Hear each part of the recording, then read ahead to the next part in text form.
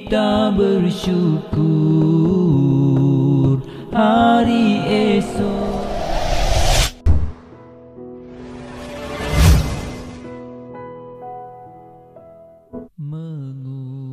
Assalamualaikum warahmatullahi wabarakatuh. Alhamdulillahirrabbilalamin Wassalatu wassalamu ala ashrafil anbiya wal mursalin Wa ala alihi wa sahbihi ajma'in Alhamdulillah bertemu lagi kita pada kali ini dalam pelajaran yang seterusnya iaitu yang bertajuk Mari Bersyukur Okey sebelum itu mari kita lihat hasil pembelajaran pada kali ini Okey yang pertama murid dapat menerangkan pengertian dan konsep syukur dengan betul. Yang kedua, membaca dalil nakli yang berkaitan syukur dengan tepat. Yang ketiga, menjelaskan cara bersyukur dengan betul.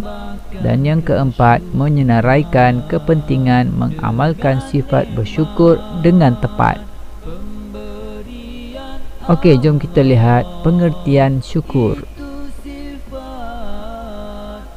Syukur ialah berterima kasih kepada Allah dengan menggunakan nikmat Allah sesuai dengan kehendaknya. Konsep syukur.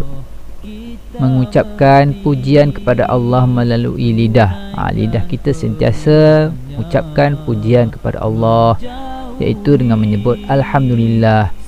Dan di dalam hati kita mengakui nikmat Allah. Ha, mengakui nikmat Allah yang kita uh, perolehi itu dengan hati kita.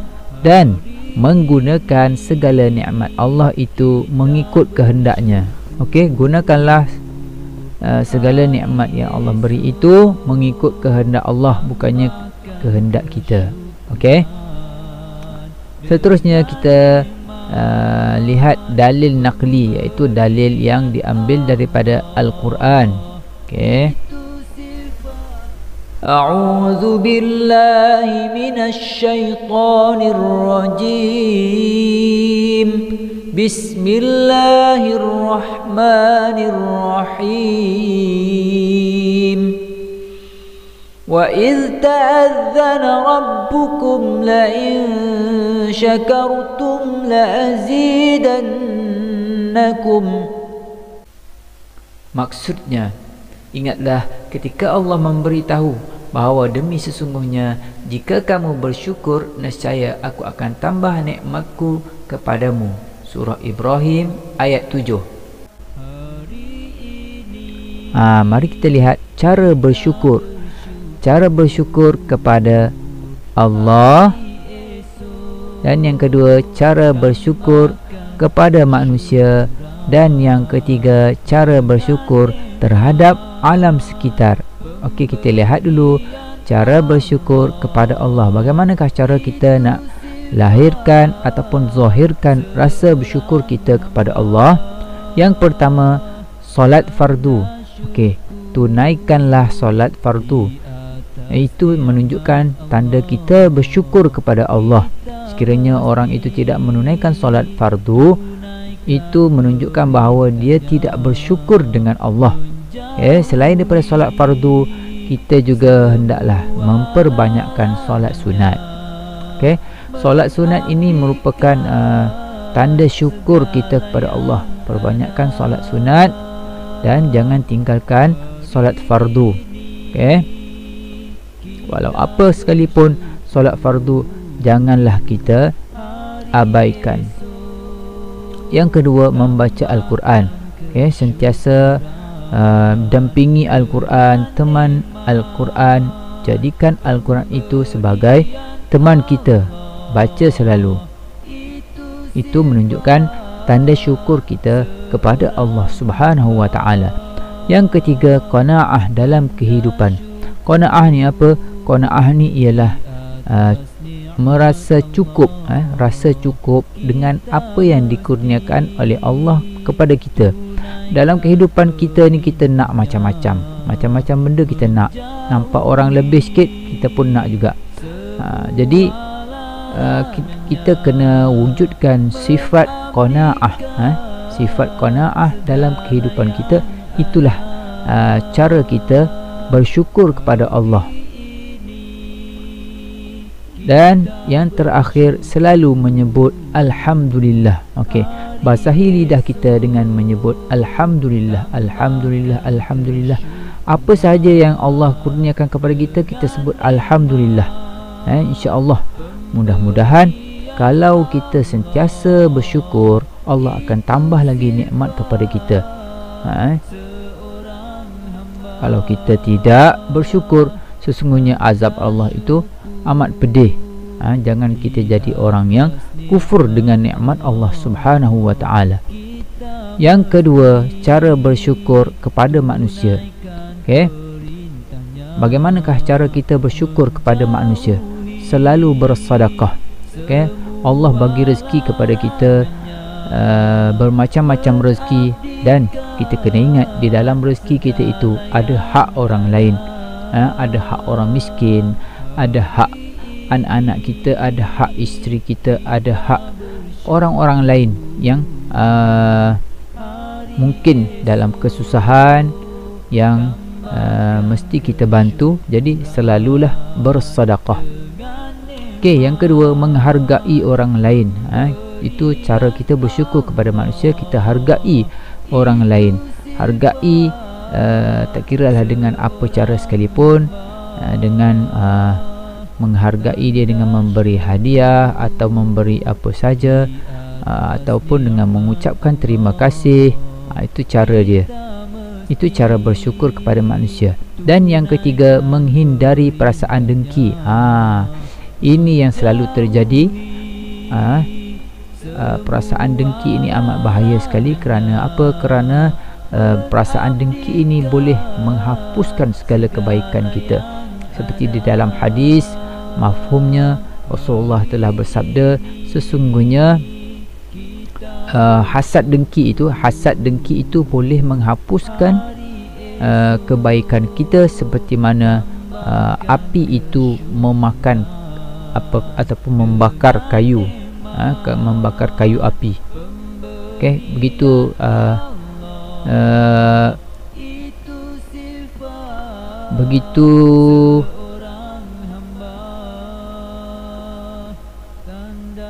Okay, oleh itu kita hindarilah perasaan dengki. Eh, kerana sifat dengki itu tidak ada kebaikannya. Kecuali kita dengki kepada orang yang berbuat baik dan kita uh, berusaha untuk membuat baik uh, melebihi dia. Uh, itu dengki yang ataupun hasad yang dibolehkan eh.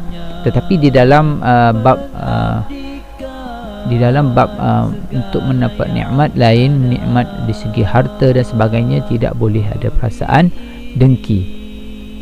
Okey yang keempat membantu orang yang memerlukan. Ha, itu tanda kita syukur kepada manusia itu kita bantu orang yang memerlukan. Nampak orang yang susah nampak orang yang memerlukan kita bantu dia. Terutama di waktu uh, musim PKP seperti ini kita nampaklah. Ramai orang yang memerlukan bantuan maka kita bantu. Okey sekadar yang termampu oleh kita kita bantu. Okey. Seterusnya cara bersyukur terhadap alam sekitar. Okey.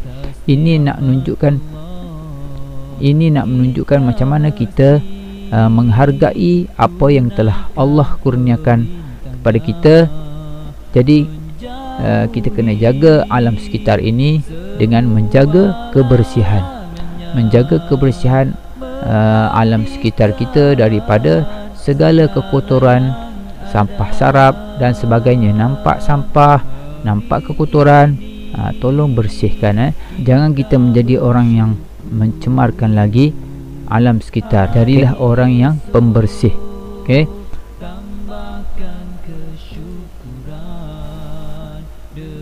tidak membazir. Okey jangan kita melakukan pembaziran kerana pembaziran itu adalah sesuatu yang tidak elok dan uh, di dalam al-Quran Allah telah menyebut innal mubadzirina kanu ikhwana syayatin. Uh, sesungguhnya orang yang membazir itu adalah saudara-saudara syaitan. Jadi janganlah kita menjadi saudara kepada syaitan uh, dengan melakukan pembaziran yang ketiga mengurangkan pencemaran. Ha, jangan kita melakukan pencemaran. Tak kiralah pencemaran sungai pencemaran uh, udara dan sebagainya kurangkan eh kurangkan ataupun elakkan daripada melakukan pencemaran sebaliknya kita sama-sama menjaga alam ini daripada segala kerosakan dan yang keempat melakukan pemuliharaan okey. Uh, seperti yang kita tahu banyak berlakunya kerosakan di muka bumi ini alam sekitar ini disebabkan oleh tangan-tangan manusia. Zaharal fasadu fil barri wal bahri bima kasabat aydin nas. Telah berlaku kerosakan di muka bumi ini di daratan dan di lautan oleh tang oleh sebab tangan-tangan manusia. Jadi janganlah kita termasuk golongan orang yang melakukan kerosakan. Jadi kita sentiasa melakukan pemuliharaan. Okey kalau ada uh, barang-barang yang masih boleh berguna kita recycle semula. Okey itu adalah cara kita bersyukur terhadap alam sekitar yang dikurniakan oleh Allah kepada kita. Sebab sebab kita adalah sebagai khalifah di muka bumi ini kita manusia sebagai khalifah di muka bumi ini maka kita kena bertanggungjawab terhadap alam sekitar. Okey seterusnya kita lihat pula uh, kepentingan mengamalkan sifat syukur. Apa yang penting uh, kita amalkan sifat syukur? Uh, memberi kekuatan dan ketabahan dalam diri kita. Okey bila kita bersyukur uh, Allah akan beri kekuatan dan ketabahan dalam diri kita. Bayangkanlah kalau kita tidak bersyukur uh, maka kita tidak ada kekuatan dan ketabahan. Maka kita akan melakukan perkara-perkara yang boleh merosakkan diri kita. Okey apalagi kepentingan mengamalkan sifat syukur? Rajin mengerjakan amal soleh. Okey yang ketiga tidak lalai dengan kemewahan. Kalau kita bersyukur Allah uh, akan menjaga kita daripada melakukan perkara yang lalai. Eh, kalau kita mengamalkan sifat syukur kita tidak lalai dengan kemewahan. Kita tahu setiap nikmat yang Allah beri pada kita kita tidak lalai. Kita akan sentiasa ingat kepada Allah dan bersyukur kepada Allah dan kita tidak akan lalai dengan kemewahan dengan kemewahan yang Allah bagi tetapi kita sentiasa mengagih-agihkan segala nikmat yang Allah berikan kepada kita kepada yang memerlukan. Dan yang keempat diredai Allah dalam kehidupan. Ah, ini penting. Eh, redha Allah ni penting dalam hidup kita untuk kita mendapatkan keberkatan dan untuk kita menempah tiket kita ke syurga nanti. Redha Allah ni amat amat penting. Jadi carilah redha Allah dalam apa sahaja yang kita buat supaya kita mendapat rahmat dan berkat daripada Allah Subhanahu wa taala. Dan yang kelima digandakan nikmat oleh Allah. Seperti yang Allah janjikan dalam al-Quran yang kita baca tadi uh, la in syakartum sekiranya kamu bersyukur la azidannakum Allah akan gandakan. Ha, Allah akan gandakan nikmat Allah. Itu kalau kita tidak bersyukur jangankan Allah nak gandakan Allah akan mengazabkan kita dengan azab yang pedih di akhirat nanti jadi sama-samalah kita berusaha untuk mensyukuri segala nikmat Allah yang telah Allah kurniakan kepada kita. Okey, apa lagi kepentingan mengamalkan sifat syukur? Ha, itu adalah sebagai bukti kita menghargai nikmat Allah Subhanahu Wa Taala. Allah ni memberi rezeki kepada kita terlalu banyak. Eh, terlalu banyak nikmat Allah di dalam Al-Quran Allah sebut wa in ta'uddu ni'matallahi la tuhsuha. Sekiranya kamu ingin menghitung segala nikmat yang Allah kurniakan nescaya kamu tidak akan dapat menghitung. Eh sekiranya uh, diambil dakwat daripada air lautan itu dijadikan dakwat dan untuk dituliskan segala nikmat Allah itu la tuhsuha kamu tidak akan dapat menghitungnya walaupun menggunakan alat-alat yang canggih sekalipun kita tidak akan dapat menghitung segala nikmat yang Allah kurniakan kepada kita jadi sentiasalah amalkan sifat bersyukur sebagai bukti kita menghargai nikmat Allah. Alhamdulillah itu dia tadi pembelajaran kita pada kali ini. Diharapkan murid-murid semua dapat menguasai isi-isi pembelajaran tadi. Semoga Allah memudahkan kita untuk memahami ilmu dan menjadikan kita daripada golongan orang-orang yang bersyukur. Ha, mudah-mudahan kita ditempatkan di syurga di akhirat nanti. Terima kasih diucapkan kepada semua yang menonton video ini. Mudah-mudahan apa yang disampaikan dapat memberikan manfaat kepada semua. Kepada yang belum subscribe, sila tekan butang subscribe sebagai tanda sokongan dan tekan notifikasi loceng supaya anda sentiasa mendapat info terbaru daripada channel ini dan jangan lupa tekan like, komen jika ada cadangan atau saranan dan share video ini untuk manfaat bersama. Wabillahi taufik wal hidayah. Wassalamualaikum warahmatullahi wabarakatuh. Seorang hamba tanda syukur di atas nikmat Allah kita mesti tunaikan perintahnya menjauhi semua larangannya mengabdikan segala yang ada